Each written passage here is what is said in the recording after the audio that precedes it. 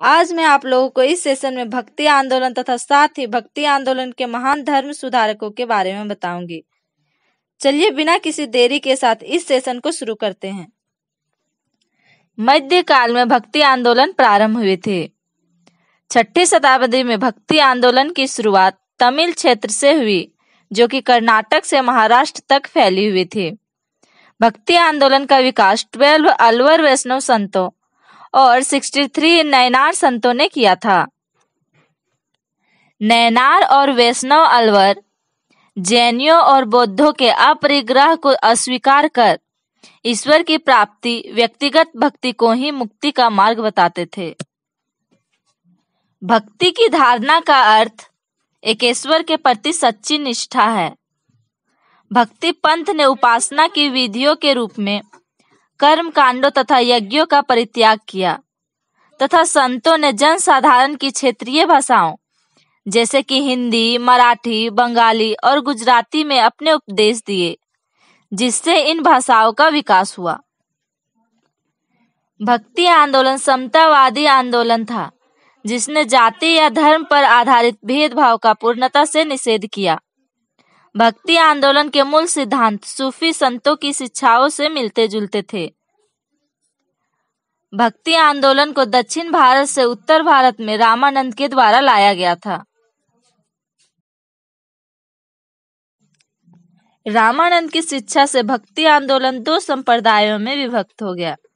First है सगुन, जो कि पुनर्जन्म में विश्वास रखता था, और सेकेंड है निर्गुण, जो कि भगवान के निराकार रूप को मानता था। सगुन संप्रदाय के सबसे प्रसिद्ध कवि तुलसीदास और नाभादास राम भक्त थे। वल्लभाचार्य चैतन्य, सूरदास और मीराबाई कृष्ण भक्त थे। निर्गुण संप्रदाय के सबसे प्रसिद्ध प्रतिनिधि थे कबीर, जिन्हें भावी उत्तर भारतीय पंथों का आध्यात्मिक गुरु माना गया है। भक्ति आंदोलन के संत कुछ इस प्रकार हैं। फ़र्स्ट है रामानुजाचार्य जो कि ग्यारहवीं शताब्दी में थे। इन्होंने राम को अपना आराध्य माना।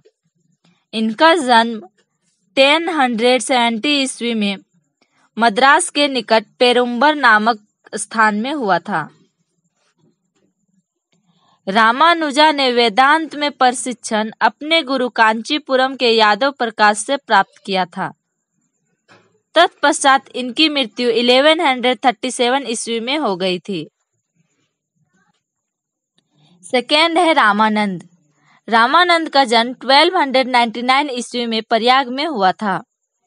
इनकी शिक्षा प्रयाग तथा वाराणसी में हुई। इन्होंने अपना संप्रदाय सभी जातियों के लिए खोल दिया था। रामानुज की तरह इन्होंने भी भक्ति को मोक्ष का एकमात्र साधन स्वीकार किया।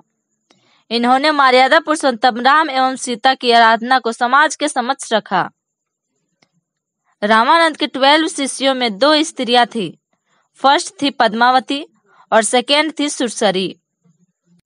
इनके प्रमुख के शिष्य रेयास, कबीर, धन्ना, सेना, पीपा तथा सघना थे। इन शिष्यों में सबसे प्रमुख शिष्य कबीर, जिन्हें हम कबीर दास के नाम से जानते हैं। कबीर का जन्म 1440 ईस्वी में वाराणसी में एक विधवा ब्राह्मणी के गर्भ से हुआ था। लोक लज्जा के भय से अपने नवजात शिशु कबीर को वाराणसी में लहरतार के पास एक तालाब के समीप छोड़ दिया। वहाँ से जुल्हा नेहरू नामक एक व्यक्ति ने अपनी पत्नी नीमा के साथ मिलकर इस नवजात शिशु को अपने घर ले आए। इस बालक का नाम इन्होंने ही कबीर रखा था और बाद में एक महान धर्म सुधारक के रूप में कबीर स्वामी व्याख्यात हुए। इन्होंने जाति प्रथा धर्म, धार्मिक कर्म कांड बाह्य आडंबर, मूर्ति पूजा, जप तप, अवतारवाद आदि पर घोर विरोध करते हुए एकेश्वरवाद में आस्था व्यक्त की एवं निराकार ब्रह्मा की उपासना को महत्व दिया।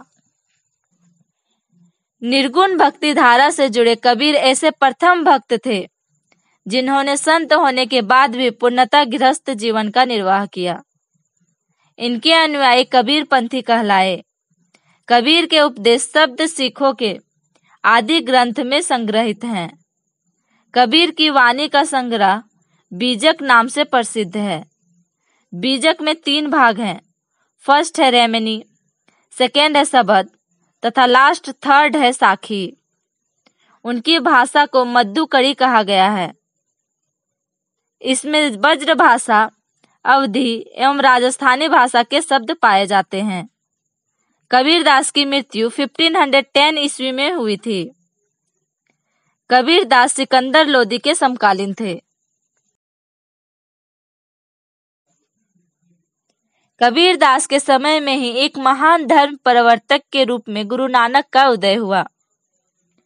गुरु नानक का जन्म 1469 ईस्वी में अविभाजित पंजाब यानी कि उस समय जब पंजाब का विभाजन नहीं हुआ था, तब रावी नदी के तट पर स्थित तलवंडी नामक ग्राम में उनका जन्म हुआ, जो अब ननकाना साहिब के नाम से प्रचलित है। उनकी माता का नाम तृप्ता देवी तथा पिता का नाम कालूराम था। बट्टाला के मूलराज खत्री की पुत्री सुलछनी से उनका विवाह हुआ, जिससे उन्हें दो पुत्र हुए। उन्होंने देश का पाँच बार चक्कर लगाया था, जिसे उदासीस कहा जाता है। उन्होंने कीर्तनों के माध्यम से उपदेश दिए। वे काव्य रचना करते थे और बरार की संगीत के साथ गाया करते थे। अपने जीवन के अंतिम समय में उन्होंने रावी नदी के किनारे करतारपुर में अपना डेहरा या मठ स्थापित किया। अपने जीवन काल में ही उन्होंने आध्यात्मिक आधार पर अपने पुत्रों की जगह अपने शिष्य भाई लहना, जिन्हें हम अंगद स्वामी के नाम से जानते हैं। उनको अपना उत्तराधिकारी नियुक्त किया। इनकी मृत्यु 1538 ईस्वी में करतारपुर में हुई। इनके बाद एक और महान सुधारक, गोस्वामी तुलसीदास का जन्म हुआ। इनका जन्म उत्तर प्रदेश के बांदा ज़िले में, राजापुर गाँव में 1532 ईस्वी में हुआ था। इन्होंने रामचरित्र मानस की रचना की। इनकी मृत्यु 1623 ईस्वी में हो गई थी। तुलसीदास मुगल शासक अकबर एवं मेवाड़ के शासक राणा प्रताप के समकालीन थे।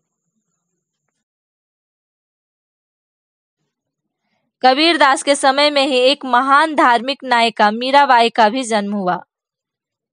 मीराबाई का जन्म 1498 ईस्वी में मेरता ज़िले के चौकारी ग्राम में हुआ था।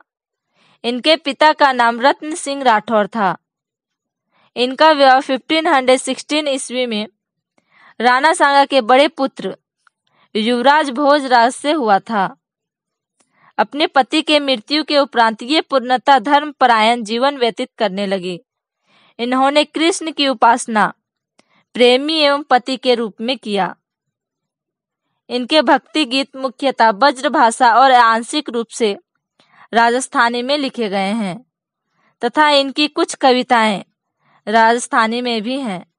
इनकी मृत्यु 1546 में हो गई थी। मीराबाई के समय में ही रेदास का भी उदय हुआ। ये जाति से चमार थे और बनारस के रहने वाले थे। ये रामानंद के बारह शिष्यों में से एक थे। इनके पिता का नाम रघु तथा माता का नाम घुरमुनिया था। ये जूता बनाकर जीविका उपार्जन करते थे। इन्होंने रामदासी संप्रदाय की स्थापना की। इसी के साथ भक्ति आंदोलन की समाप्ति हो गई। इसके साथ ही यह सेशन समाप्त होता है। अगर आप लोगों को ऐसे ही और भी सेशन देखने हैं तो मेरे चैनल हिस्टोरिकल स्टोरी को सब्सक्राइब करें और बेल आइकन को प्रेस करना ना भूलें। तभी आप लोगों को मेरे सेशंस के नोटिफिकेशन मिलेंगे।